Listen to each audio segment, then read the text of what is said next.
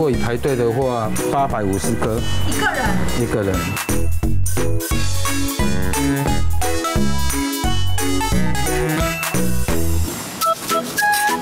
包子还没好，还要差不多六分钟。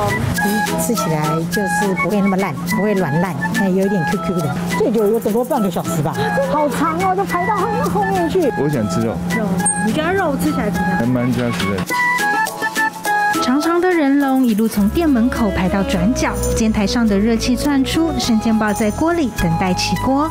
镜头像是看穿炉火，一颗颗沸腾的煎包，这等诱人，难怪大排长龙。位于士林夜市，仅此一家，绝无分店，连续蝉联三年的米其林必比登推荐，公认的美味。五肉包十二颗，一六八，五肉五菜少一颗肉，你要再等一下哦。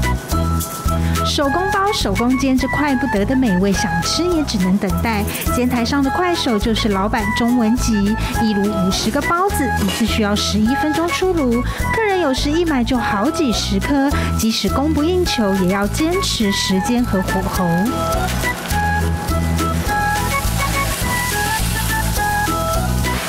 水太少也不行，煮一颗也要那么多水，煮五十颗也要那么多水。倒锅的用意就是让让它的受热均匀，肉麻肉麻，肉包有芝麻，这是以前的上海师傅教的。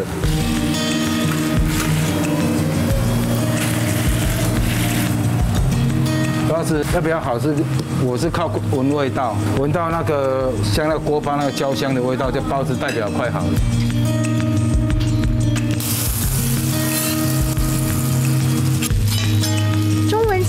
上海生煎包的做法，煎出面皮厚薄适中、焦黄酥脆的口感。